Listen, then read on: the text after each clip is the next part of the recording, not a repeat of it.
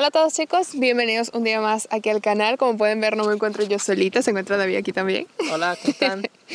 Hoy les traemos más o menos como una actualización de ciertas cosas que están pasando aquí en Portugal, sobre todo y más concretamente con el CEF, que creo que eso es algo que a todos eh, las personas que me siguen, que nos siguen de hecho, eh, es lo que más le está preocupando. Sí, normalmente siempre recibimos preguntas acerca de cómo está la situación de, de la residencia, de cómo está la situación de sacar los papeles, conseguir trabajo. Y bueno, hoy queremos actualizar un poquito esos videos que tanto tenemos, tantas reproducciones tienen en nuestro canal y el artículo de la página web de la vida de Y bueno, vamos a responder algunas preguntas y aclarar un poco el tema de, de cómo está esa situación ahorita con todo lo que ha venido del año pasado de la pandemia y cómo se está retomando todo actualmente. Exacto. Vamos a ver entonces.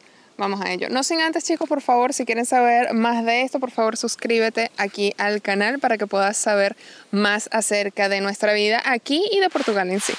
Bueno muchachos, me han llegado varios eh, mensajes, sobre todo de cómo está la situación aquí en Portugal, cómo Em, ven o cómo vemos como tal cómo es la situación de los papeles, cómo está el CEF. Y la verdad es que últimamente se ha actualizado. Últimamente no, creo que fue esta semana. tiene, varias tiene varias semanas ya, la verdad.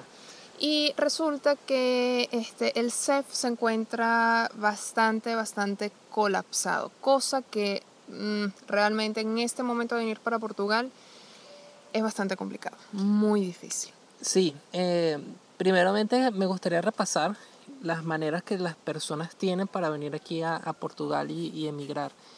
Saben, por haber visto los videos tanto de Victoria y haber leído la página web de la vida de eh, sabrán que existen varias maneras de venir legalmente a Portugal sin ser eh, familiar de algún portugués o de algún eh, alguien de la comunidad europea.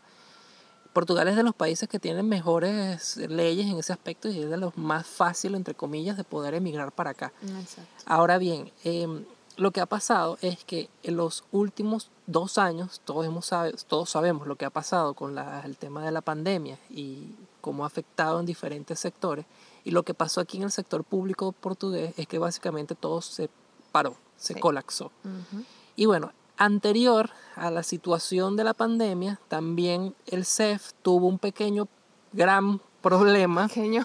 La verdad que también el video lo tienen en el, en el canal. Sí, en una de estas esquinas tienen el video eh, explicando el pequeño, gran problema que tuvo el CEF, el cual antes de la pandemia ya estaban teniendo problemas para gestionar todos los trámites debido a que el CEF no solo se colapsó, sino que tuvieron un pequeño problema de crisis de, de credibilidad, por decirlo de una manera bonita y bueno, nada, este, se unió con el problema de la pandemia y lo que está conllevando es que ahora hay miles de personas que están solicitando documentos y no les están dando respuesta.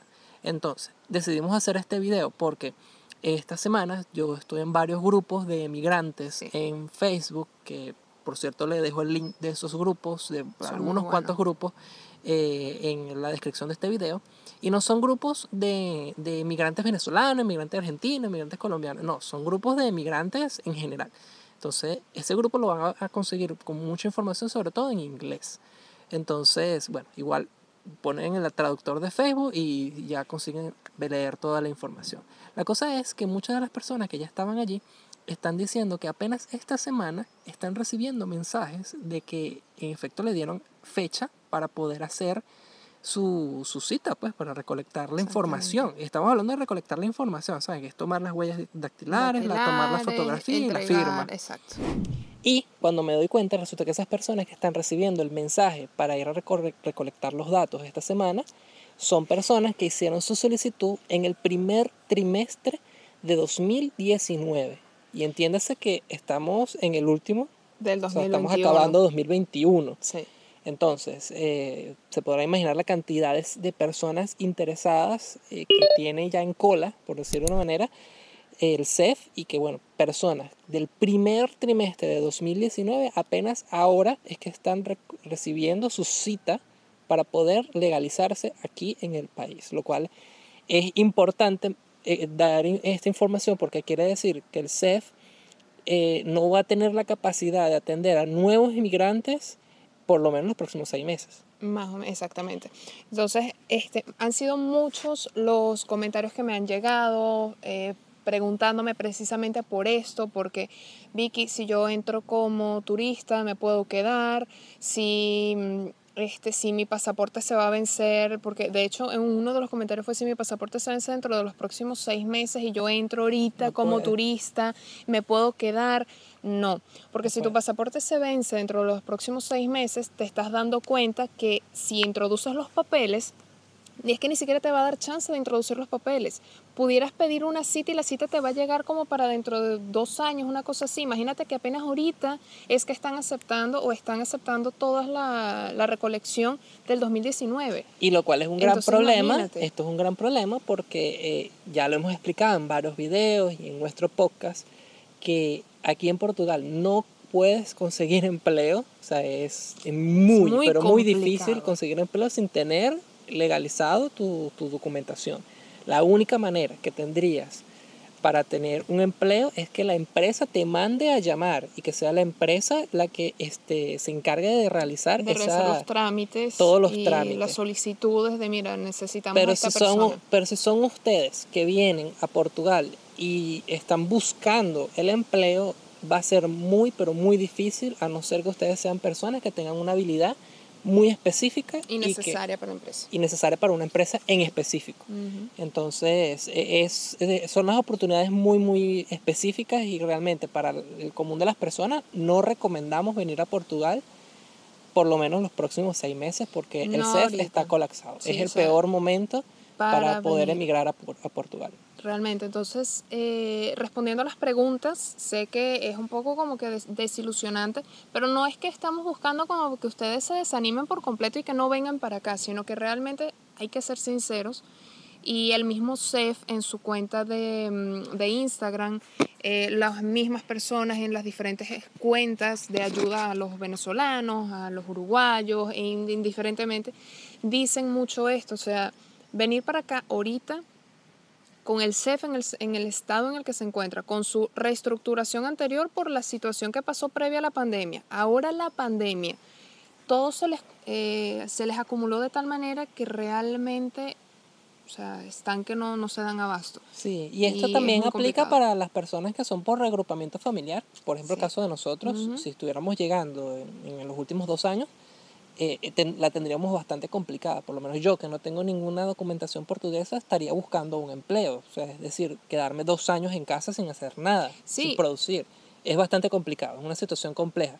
Entonces, eh, realmente eh, tienen que tomar esas previsiones y entender que, bueno, no porque tengo un familiar portugués, ya lo tengo todo bien. Lo que va a pasar es que no, no te van a deportar porque eso, eso no va a pasar porque, tienes un familiar portugués. Exactamente, Este, siempre que tú comuniques, te comuniques con el CEF y digas, yo ya estoy aquí con intención de quedarme, eso lo puedes hacer por correo, eso no pasa nada, pero, este, y no te van a deportar, pero no vas a poder tener empleo porque necesitas la residencia formal, necesitas que esté todo legalizado. De hecho, eso fue lo que le pasó a David, que eso también lo hemos comentado en varios videos.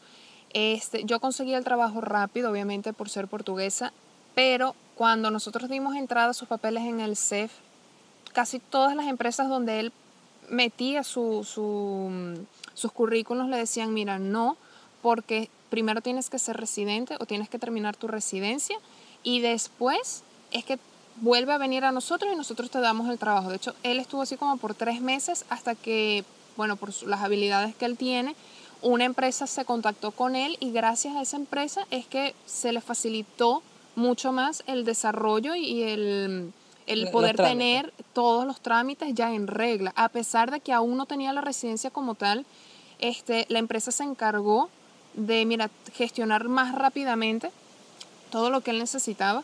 Y incluso el mismo CEF decía, tú puedes trabajar, pero es que no es el hecho de que el CEF diga, mira, no, tú ya puedes trabajar porque ya diste entrada a nosotros, ya entregaste tus papeles, este es el documento que dice que tu proceso está en trámite, pero es que son las empresas las que dicen, si no tengo el carnet en físico, si no tengo el, título de residencia en físico, las empresas son muy son, muy recelosas en ese aspecto. No es que les da miedo. Les da miedo porque como no tienen esa costumbre como tal, ellos le dicen, "No, mira, mejor no", son muy reservadas. Dame tu residencia cuando la tengas lista y después ven para acá. Realmente quisimos hacer este video como para darles una actualización de todo lo que está ocurriendo aquí y para poder responder esas preguntas que realmente sé que son muy preocupantes, sobre todo para cualquier persona que quiera venir para acá en estos momentos post pandemia, que no es ni tan post pandemia.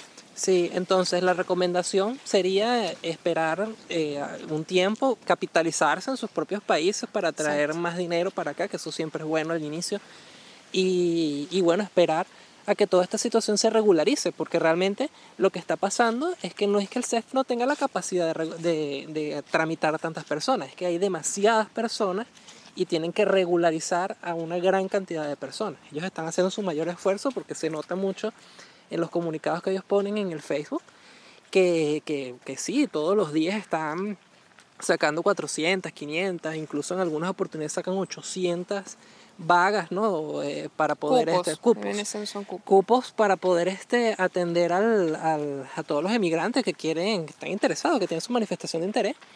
Y, y, y, bueno, imagínense, 500 personas todos los días en promedio es, Es bastante. muchísimo. Pero es que imagínense la cantidad de personas que quieren, Venir para acá y regularizarse, que no es, que no no, es lo han logrado como tal no es, no es sencillo. Entonces, hay que, dar, hay que esperar, ser pacientes, darles al menos, que esa es la recomendación, unos seis meses más, un año. Sí, para que por lo menos se desahoguen lo máximo que puedan y puedan recibir a nuevas personas. Sí, dentro de esas noticias también buenas es que ellos están eh, digitalizando mucho de los procesos, por ejemplo, la Cierto. renovación de la, de la residencia, ahora para las personas que tengan residencia permanente, que es la mayoría de las personas que son por, por matrimonio en este, en este caso, eh, pueden renovar su residencia por internet, tienen acceso a la renovación automática, tienen que registrarse y hacer este, bueno, les piden unos documentos y ya a través de la página web ya queda la renovación au- automática activa y por lo menos así ya evitan el tener que ir hasta,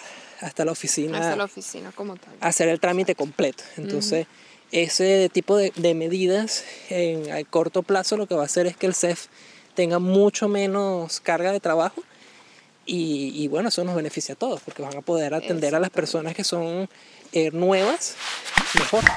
La información que le dimos hoy, muchachos, ha sido pues lo más actualizado que hemos logrado conseguir. Este video ha sido súper flash, súper rápido, porque lo que queríamos era realmente darles la información más, más, más veraz y actualizada, porque realmente es un tema muy, muy, muy reciente.